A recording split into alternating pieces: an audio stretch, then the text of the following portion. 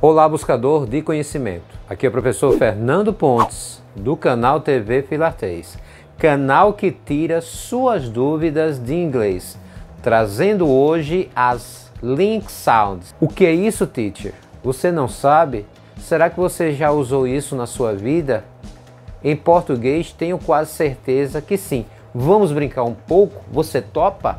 Então, já deixa o seu like para a chamada porque, vamos confessar, assistir a aula sem marcar presença não é muito eficiente. Concorda comigo? E compartilha com aqueles que gostam de uma aula, de um conteúdo especial, para que eles possam praticar um inglês de verdade. E avisa que a nossa aula já vai começar.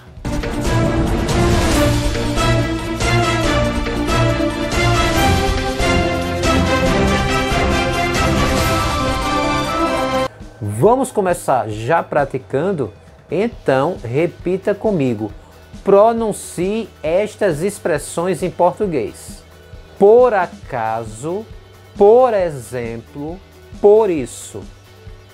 Notaram a conexão? Porque as link sounds têm esse nome porque link é conectar, conectando. E sound são sons.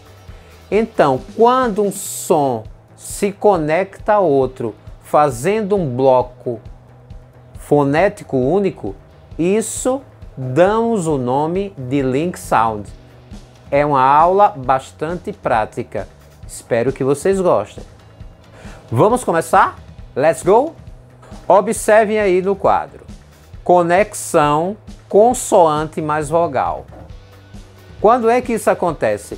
Quando a palavra inicial termina por consoante e a seguinte começa por vogal. Então forma um bloco só. Preste atenção.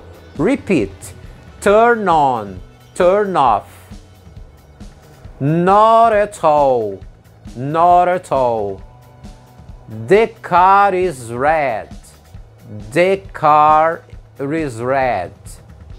Good evening. Good evening. Good afternoon. Good afternoon. Então, nesse caso, há a questão da conexão, da link, porque terminou por consoante e começou por vogal. Pratica aí. Meu caro buscador de conhecimento, começou a entender, está gostando aí da aula, está aprendendo, o mais importante, está interagindo já fez sua matrícula? Faça agora mesmo a sua inscrição em nosso canal para não perder nenhuma aula maravilhosa como essa. Nosso canal está crescendo graças a você. E ative o sininho das notificações para sempre que postarmos conteúdo novos, você está sendo avisado aqui no canal. Observe aí na tela o segundo caso. Conexão consoante mais consoante a chamada geminação. Como é isso? Observe nos exemplos aí, quando terminar uma palavra por uma consoante igual a outra, que começar da outra palavra, então há um único som. Observe aí. I want to go now. Repeat. I want to go now. Veja que temos a impressão de ter um único T. Good day. Repeat. Good day. O day aí, é, finalizando a frase, e o day iniciando, dá a impressão de termos um único D. Good day. Best time. Best time. A mesma coisa. E social life. Social life. A mesma situação. Então, essa germinação é, acontece quando for o caso de consoante igual, finalizando a frase, a outra consoante na sequência, iniciando a frase. Terceiro caso, já observe aí, é a intrusão, vogal mais vogal. Vamos ter a ideia, vamos ter a impressão do prolongamento da pronúncia. Preste atenção. Repeat. Pay all. Dá a impressão que estamos estendendo o som do Y. The end, the end.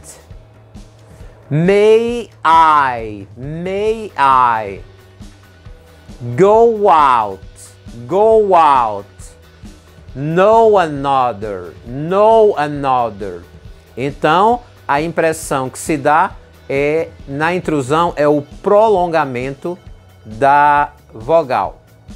Já observando aí na tela, o quarto caso é chamado da omissão. Como o próprio nome já diz, a gente tem é, a eliminação dessas letras, o T ou do D. Isso acontece quando a gente tiver uma sequência aí de consoante mais consoante. Só que agora as consoantes não são iguais, elas são diferentes. É o T mais alguma consoante ou o D mais algum outro tipo de consoante. Vamos ver o exemplo? Aqui já colocamos a ideia mais ou menos da pronúncia. Nesse daí que a gente tem as palavras kept e going, quando juntamos, veja aí, termina com T e é seguida da consoante G. Então temos kept going, kept going. A letra G no final também de palavras em inglês não é pronunciada. Então, kept going. A outra, diamond ring, diamond ring. O D e o R não é pronunciado e também o G no final dessas palavras não são pronunciadas. Esse G no final não é relacionado à regra é, que estamos aplicando das link sounds. É aplicado a palavras terminadas com G. No gerúndio, por exemplo, não lemos o último G. Então, diamond ring. And then, and then. Hand me, hand me não se diz rende-me, porque o D não é uma sílaba tônica. Então ela não vai ser pronunciada. Então, hand me. Hand é uma palavra é, oxítona. Só temos uma sílaba. Stand back, stand back. Muito cuidado com esse tipo de situação das link sounds. E então, gostou? Está realmente praticando? Está interagindo? curtiu, vai divulgar a nossa ideia para que mais pessoas é, participem dessas aulas. Então, muito obrigado. Coloque aqui nos comentários o que você está achando desses vídeos do nosso canal, seja qual for a disciplina, filosofia, arte, inglês, reflexão. Lembrando, é importante que sempre esteja interagindo, nos apoiando e comentando bastante. E chegou a hora do nosso Personal Challenge. Quem já é do canal já sabe que é o nosso desafio pessoal. É um desafio proposto por mim, mas para você fazer com você mesmo. Você se autoavaliar do que realmente você está aprendendo. Então, hoje será baseado nesta aula que tivemos. Então, muito importante sua participação. Let's go? Vamos lá? Vou colocar aí na tela para vocês acompanharem. E aí, observe bem a pronúncia para empregar as link sounds dentro das expressões. Vamos ver se você nota aonde está e qual é o caso que a gente está é, falando. Acompanhe aí. O primeiro, I have a cat. I have a cat. O segundo, when I can go with you. When I can go with you. O primeiro, I have a cat. I have a cat. Conseguiu notar aonde está a conexão? Vai praticar. Coloque também nos comentários o que você achou. Eu sei que é um desafio muito simples, mas você vai em busca de mais link sounds Vamos ver se você consegue. E um alerta: cuidado para não confundir. Link words com link sounds. Link words é um tipo de conectivo. Nós temos é, que observar bem para não confundir. e link sounds é relacionado ao som. Então espero que realmente você tenha aproveitado bastante desse vídeo. Aqui vamos nos despedir, né? Eu sou o professor Fernando Pontes do canal TV Filatéis, trazendo um conteúdo sonoro especial aos ouvidos e à prática oral de vocês, meus caros buscadores de conhecimento e futuros falantes da língua inglesa. Ficamos por aqui e nos encontraremos no próximo vídeo, se Deus quiser.